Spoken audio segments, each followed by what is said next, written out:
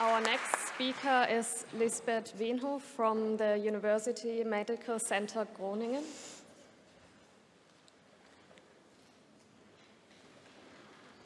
Great, thank you. Thanks for coming big thanks for the organizers for uh, what has been a really exciting meeting also for me. And thank you all for your interest. Um, it's not visible in yours. Good, so uh, I'm going to talk about the role of the nuclear pore complex in aging. Um, and I'll uh, introduce uh, the complex to you.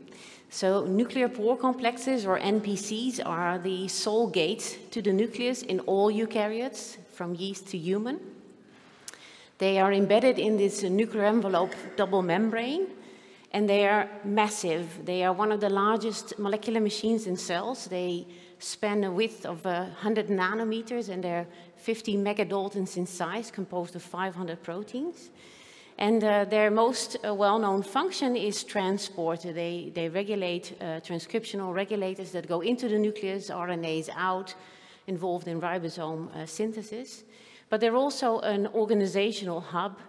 The proteasome is anchored on the inside of the inner nuclear membrane to the nuclear pores, and they have important roles in transcription regulation, but also in genome stability, for example, eroded telomeres anchored to the pore, or repetitive DNA sequences.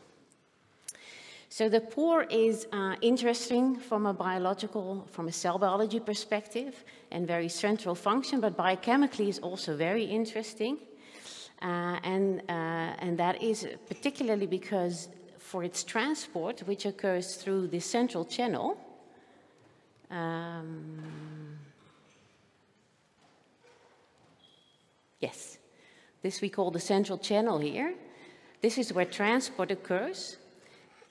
Mm, I'm messing up things with the slides. Here we go. Uh, transport occurs through the central channel here, uh, or also the membrane proteins go like this. But the interesting aspect is that this central channel is composed down is forward, up is backwards. The central channel is composed of intrinsically disordered proteins. Uh, this means they are proteins that don't have a persistent structure, not alpha solenoids, not beta sheets, not. Uh, they are completely dynamic, as you see in this molecular dynamic simulation, and that is uh, important for their function. And so the question is, what happens to nuclear pores in aging? And uh, as a biochemist looking at this complex, you can already uh, understand that making a complex of 500 proteins in this double membrane will be a process that is difficult. And so assembly may go wrong occasionally, and you wonder if that's a problem in aging. And then these intrinsic disorder proteins are known to readily aggregate, and so the question is, may, they, may there be problems in aging with aggregation of these intrinsic disorder proteins? And the first evidence that pores are actually impacted in aging came from Martin Hetzer a while back. Uh, Max D'Angelo showed in worms that in post-mitotic cells, uh, they are actually damaged in time. And the reason is that many of the components of the pore are very, very long-lived. They are hardly turnover. So they run a risk of accumulating, for example, uh, oxidative damage. So uh, I'll show you what we found in terms of these other two things. So aggregation of the disordered proteins and assembly in aging. So the first question, do we indeed see problems with making new pores in aging cells? Uh, and uh, we studied this using Baker's yeast, and we already saw a chronological aging of Baker's yeast as a model for aging. We use replicative aging, so uh, well-fed cells that are dividing. An individual cell can divide some 20 times in, or 25 times and then it dies. And, uh, and many of the molecular changes inside a cell uh, mimic those that uh, also occur in aging of uh, more complex organisms. And if you've been able to follow the cell that's now lived in this uh, microfluidic chip, you've seen it's done many divisions, it's grown, and uh, very soon it will die. It will be a small implosion, and that's the end of the lifespan. And if you look uh, at proteomes and transcriptomes of aging yeast cells under these uh, well-controlled uh, conditions, uh, you actually see um, that uh, there is a drift of the proteome and the transcriptome, and uh, particularly prominent is that there is a loss of protein complex stoichiometry.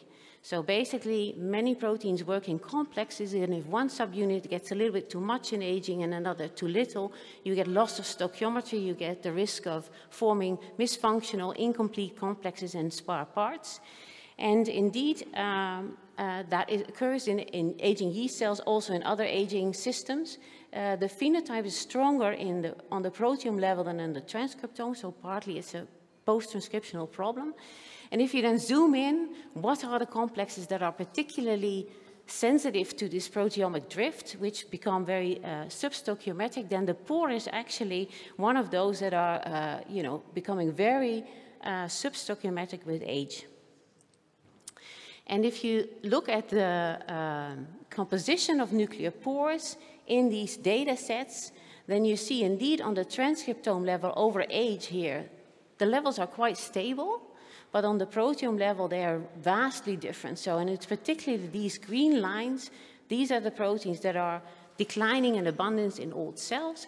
And what are they? Those are these disordered uh, proteins. And so not having the right amount of uh, the components of the complex uh, uh, leads to forming malformed po uh, pores, leads to effects on transport, and, uh, uh, and, and I'll show you just these two data. So here, in using these microfluidic chips, we can follow the individual cells and see signs of misassembly, and we use CHM7, in humans it's called CHMP7, as a marker for these misassembled pores, and you see that they vastly increase uh, uh, as the cells age. And here we uh, tag uh, one of the uh, uh, exchange factors that is involved in nuclear transport. And these are individual cell trajectories, so individual cells aging, and you see that most of the cells have a, a, large change in the localization of this transport factor. So the answer is yes, we clearly see examples of misassembled pores appearing in old yeast cells. We do not know yet whether that's conserved in replicative aging uh, human cells, such as stem cells, but that would be interesting to look at.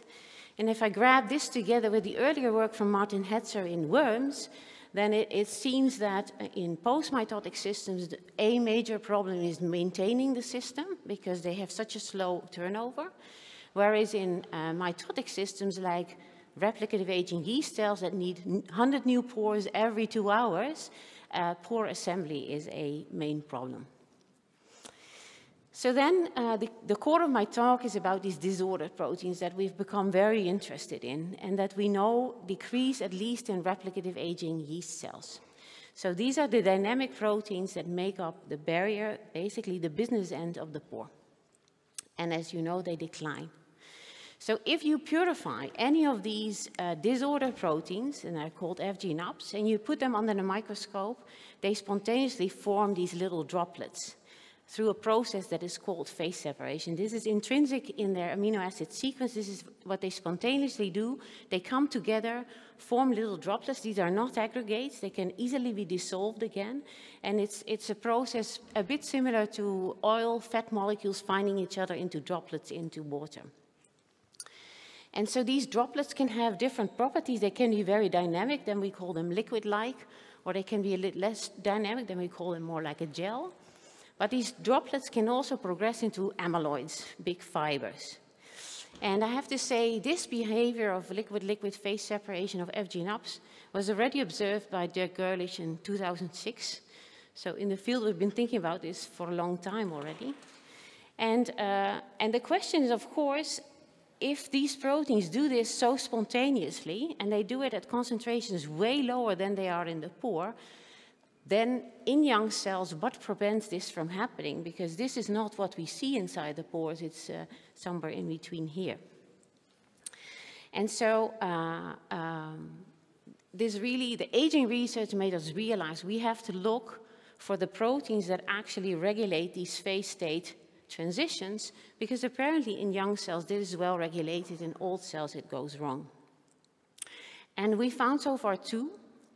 The first uh, is called DNA JB6, it's a classical uh, HSP40 chaperone, a protein that is able to reverse these equilibria. And then NSP1, uh, and this is an FG itself, and this we found in yeast, and in humans, NSP1 is called Nup62. To introduce uh, very briefly DNA JB6, so it's an HSP40 chaperone. Uh, it was studied uh, because of its role in preventing aggregation of polyQ and A-beta peptides. And it's been implicated in uh, Huntington and Parkinson and limb-girdle disease.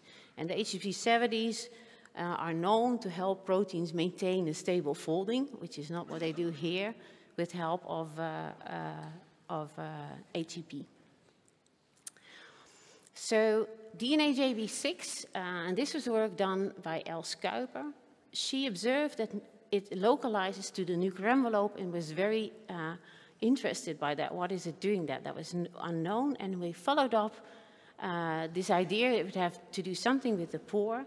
And she showed, first of all, if you knock it out, you see these cytosolic inclusions in pink of uh, nuclear pore complex components that get mislocalized and they're actually annulate lamella, structures that we know uh, to exist natively as well.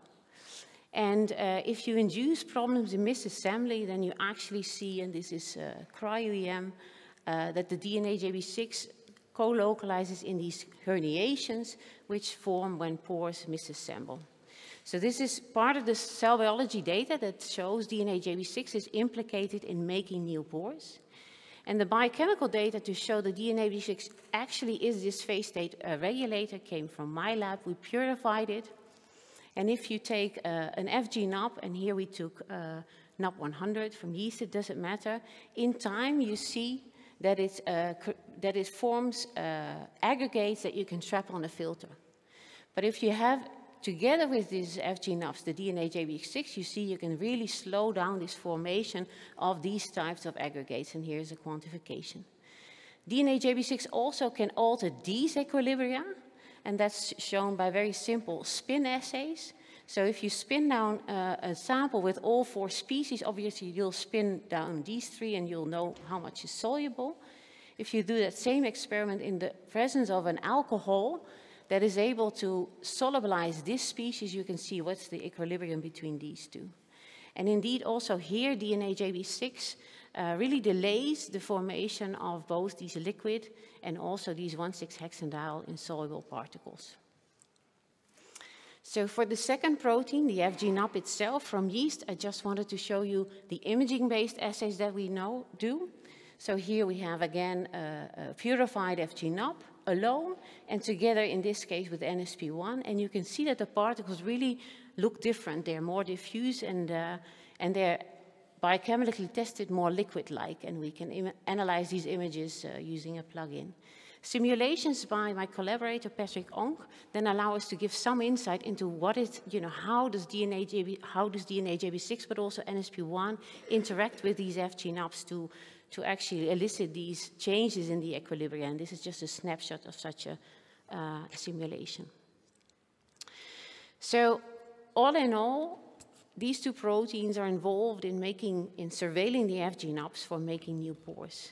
But the surprise to us came from uh, a very simple experiment where we said, what if we take young cells and we reduce the amount of NSP1? And this is the uh, NSP1 here going down in aging. And so we basically reduced it to sort of mid-aged cells. And we were wondering, you know, do we then see all these phenotypes that we see in aging related to the nuclear pore complex? And, uh, and because uh, this protein NSP1 is localized in the nuclear pore complex, as you see here in the ring, it also has a cytosolic pool. We created uh, this reduction in NSP in two different ways. One is just taking out one of the two copies, and in the other one, we left one copy untouched, but the other copy, we just we took out the, the, domain that anchors it to the pore. So this protein is still fine localized to the cytosol, just not at the nuclear pore. And so then we did our transport assays, and we looked at uh, whether the pores are fine. And the answer is indeed that, uh, you know, these mimic mid-aged cells, but the surprise was that these ones don't. And, and so apparently, and that, that is maybe that was not a surprise because if NSP1 has a chaperone function, it would do it in the cytosol, and indeed that's uh, secured in this strain. But the surprise was when we looked beyond phenotypes related to the nuclear pore. And here I'm showing you chaperones. So in aging yeast cells, chaperones are upregulated because of problems in protein homeostasis. In our strain that misses one of the two copies of NSP1, a similar upregulation and a similar pattern of upregulation of chaperones is seen in proteome data. And interestingly, if we just maintain this cytosolic pool of NSP1, uh, that doesn't happen. And so that suggests that cytosolic pool of NSP1 is, is, is helping protein homeostasis beyond the nuclear pore complex.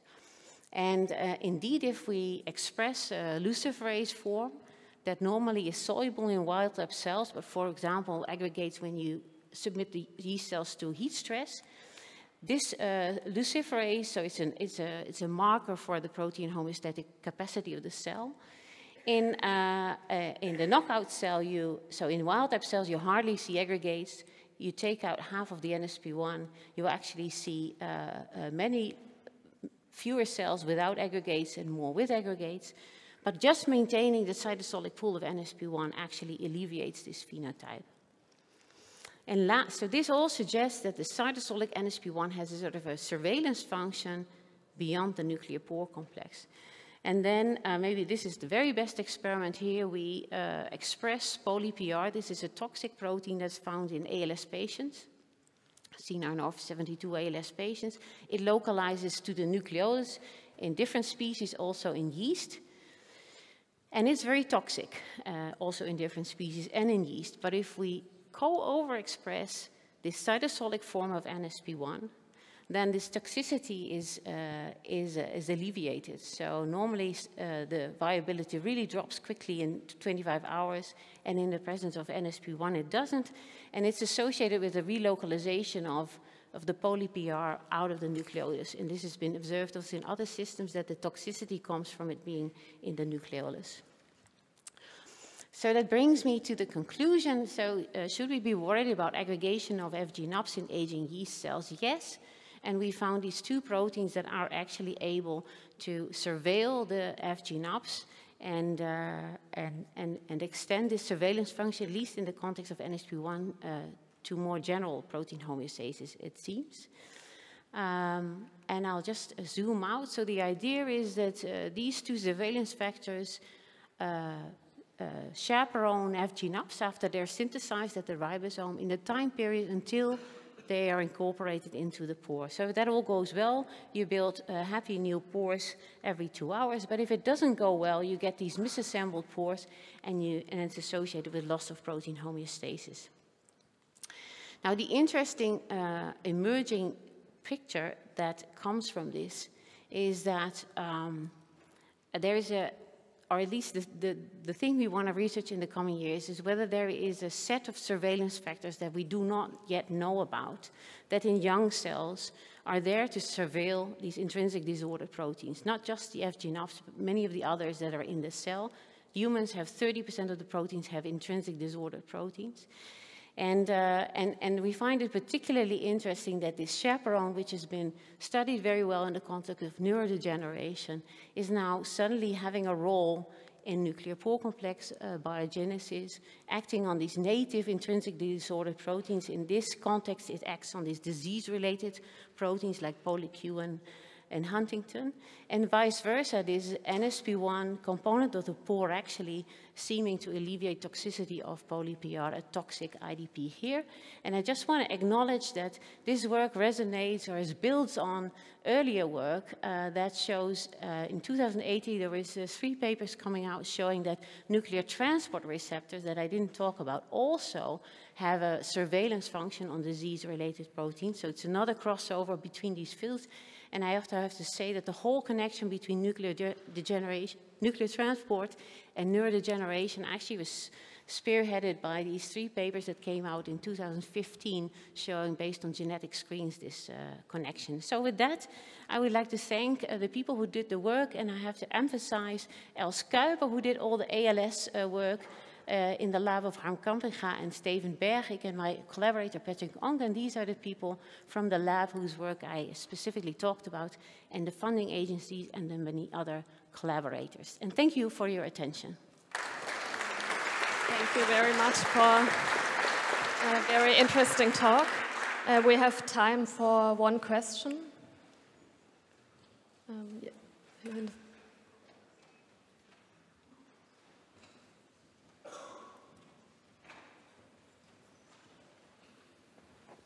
First of all, a fantastic piece of work. I really enjoy listening to you, although I'm sure I lost uh, many of the detail. So if I understand, your theory is that there is a, a problem in the assembling on the nuclear pore, and so that's why you find that uh, there is discrepancy between the transcriptomic and the proteomic. There are some protein there that are not assembled properly, and so the stoichiometric proportion are not good.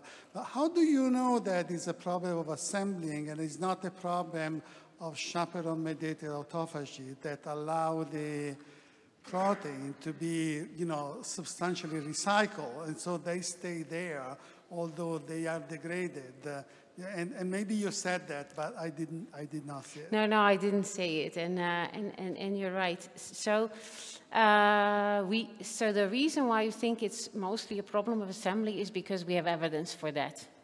So there is, uh, we really see these misassembled pore, uh, pores uh, appear when the cells age. Um, uh, whether there is a, a, change in, in the rate of degradation uh, of the different components of the pore, we haven't looked at in detail.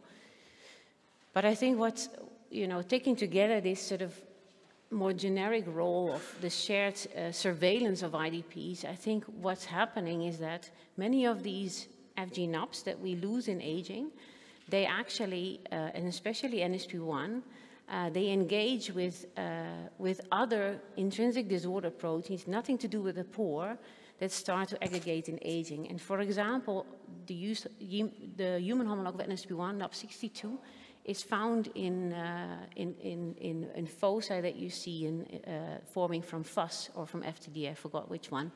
So, you know, these, these intrinsic disorder proteins have a tendency to hang out together. So if one is forming Uh, uh, aberrant phase states, it, it recruits other things in there. So that, that, that's my hypothesis, yeah. Great. All right, thanks. Yeah, thanks so much.